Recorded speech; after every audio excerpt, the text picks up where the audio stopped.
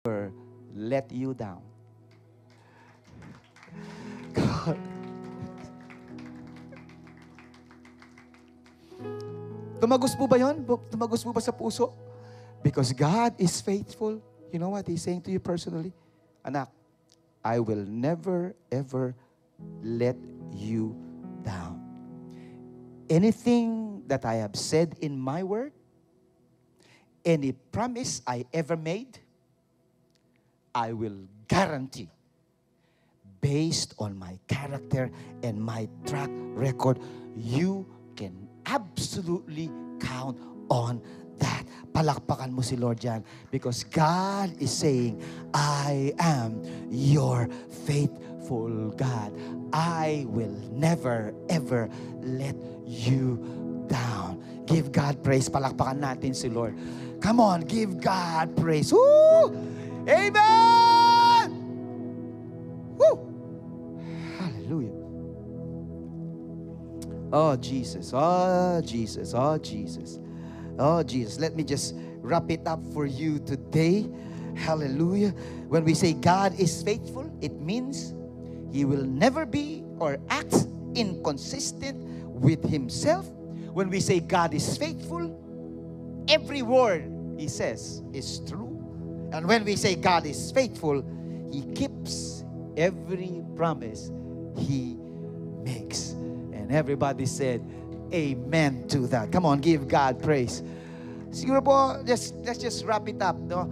Alam niyo po, ang tama lang pagtugon sa message na to is pagsamba. Can I hear an amen? The more, the more you know Him, the more you want to worship Him. So, sabi nung kanta, pwede ba natin ipakita muna sa screen? Gusto ko yung first line nung stanza nung kanta na sabi nun, uh, awitin ko man lahat ng awit sa mundo. Oh, gusto ko to. Di kayang ilarawan, incomprehensible, ang kadakilaan mo. Kulang ang lahat ng tula. Gusto ko yan. Ever say gusto ko yan. ha?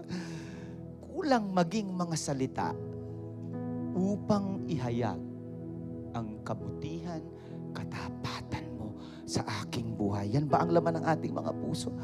Ano, ano sabi dun sa chorus? Wala kang katulad. Wala nang hihigit sa'yo. Wala kang katulad. Wala nang papantay sa'yo.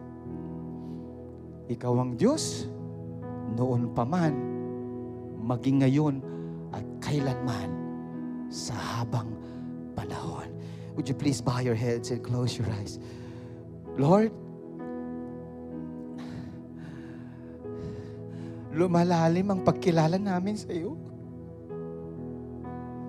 Naayos ang aming mga buhay, naayos ang aming mga pananaw. Nagiging tama ang aming mga puso. Nabibigyan kami ng lakas at inspirasyon ng tapang na harapin anumang problema, anumang sitwasyon, anuman ang pinagdadaanan namin.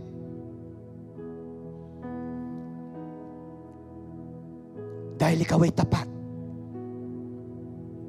You never change. You are sovereign. You are eternal. Omnipresent, omniscient, omnipotent. Always consistent to who you are. And we can count on it no matter what. Na anumang pressure ang pinagdadaanan namin ngayon, ilalagak namin lahat ito sa iyo. Dahil ikaw ang Diyos na tapat, na nangako, na kami ay palalakasin, itatawid, pagpapalain mo. Ang sino man ang sayo ay nagtitiwala, nagmamahal at sumusunod sa iyo. You will be faithful to us no matter what. Kaya naman, sa oras na ito, Panginoon, Pwede ba iangat mo ang aming mga spirito, Lord? Iangat mo ang aming antas ng pagsamba. O Diyos, na sa oras na ito, Ikaw nawa ay aming masamba ng buong puso at kalakasan. Lord, right now, fill us, Lord, with your presence. Oh, with your faithfulness, oh God. Yarabasakatara. Pwede bang itaas natin ang ating mga kamay sa Kanya at sabihin natin sa Kanya, Panginoon, sa iyo ako magtitiwala. Hindi ako mag-aalala dahil ikaw ang Diyos na tapat ngayon at magpakailanman. Sasambahin kita ng aking buong puso. Sambahin natin siya sa oras na ito. Hallelujah. Thank you, Jesus. Thank you, God.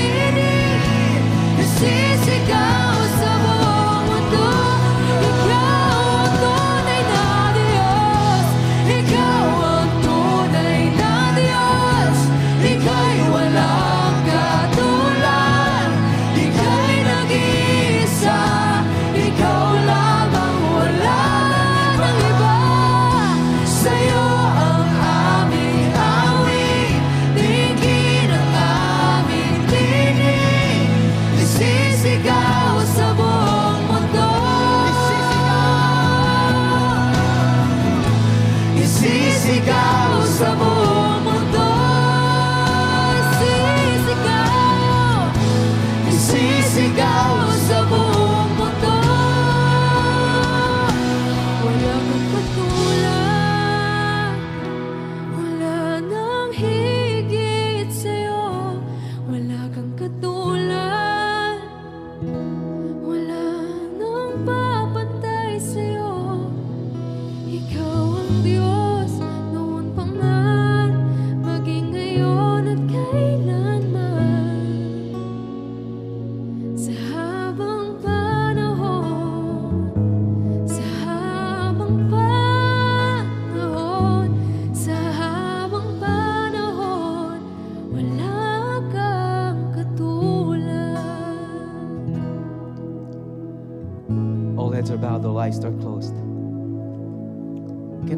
Respectfully request everyone to just lift your hands up high?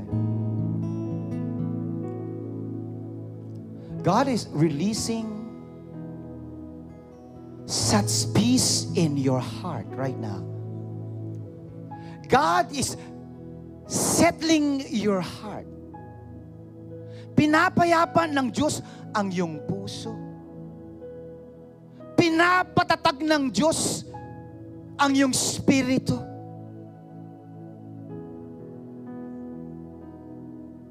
Nililinis ng Diyos ang iyong kaisipan.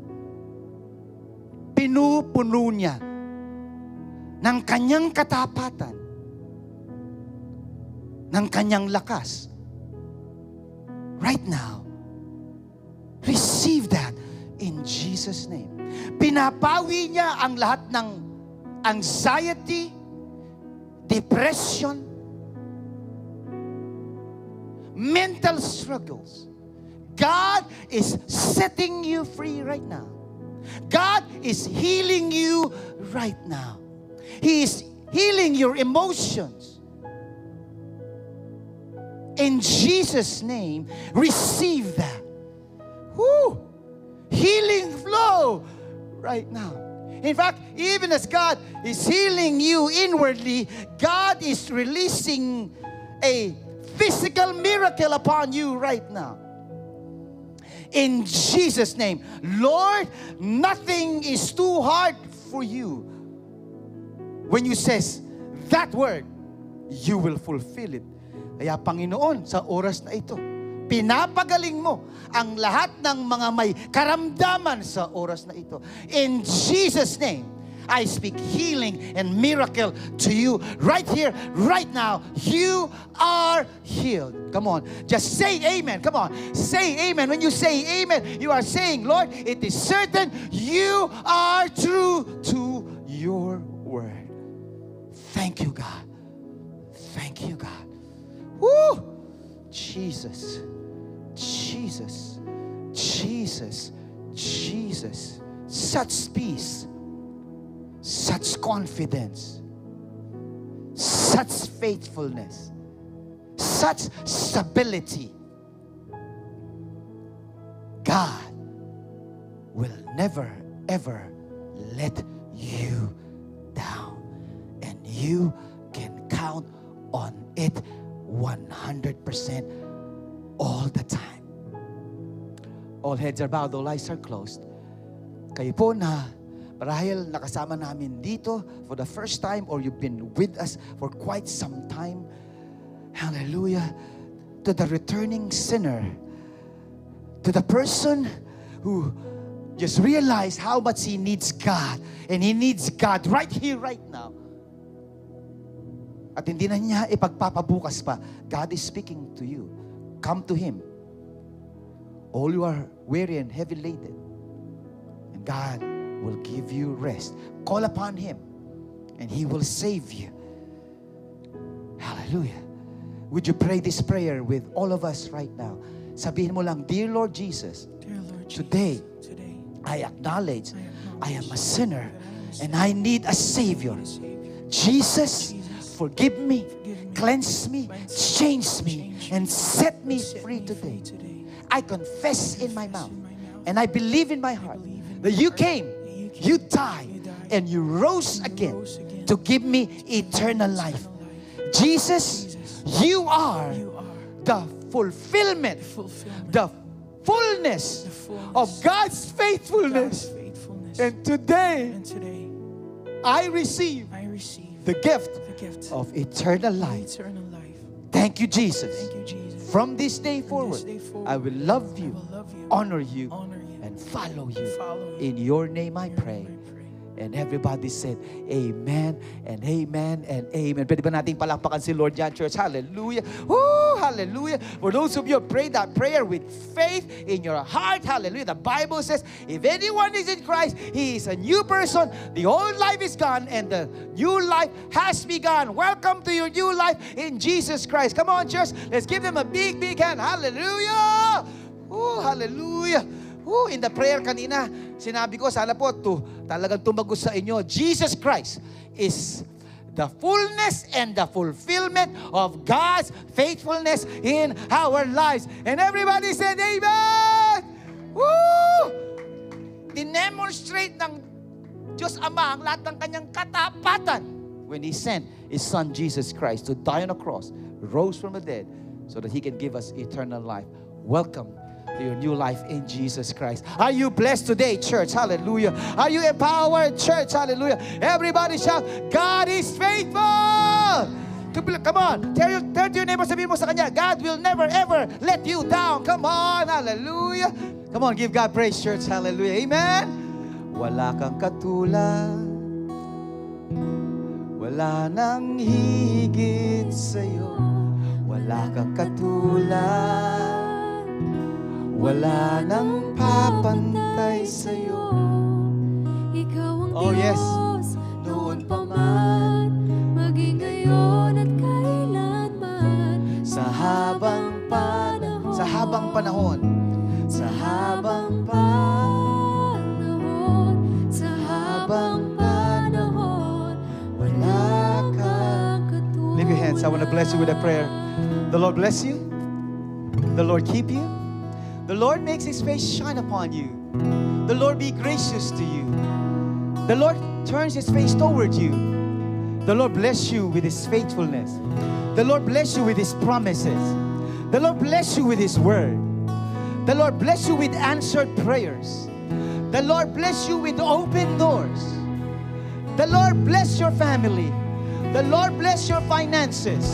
The Lord bless you with His supernatural provision, supernatural protection. The Lord bless your life. In the name of the Father, the Son, and the Holy Spirit. And we all shout, Amen and Amen. God bless you, church.